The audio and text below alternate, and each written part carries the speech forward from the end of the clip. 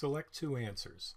Students construct their circuit and find no current flowing through the ammeter. The teacher already tested the ammeter. What could be the reason that no current is flowing?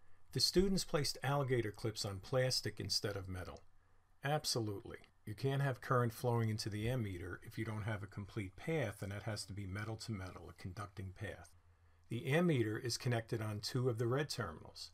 Also true, you have to be on one black terminal and one red terminal. The connections to the voltmeter are reversed. All that will do is give you a opposite polarity on your reading from the voltmeter if you have a digital meter, or it would peg it to the left at the zero mark, but it has nothing to do with the ammeter. And the voltmeter is missing from the circuit, again, nothing to do with the ammeter, so A and B are correct.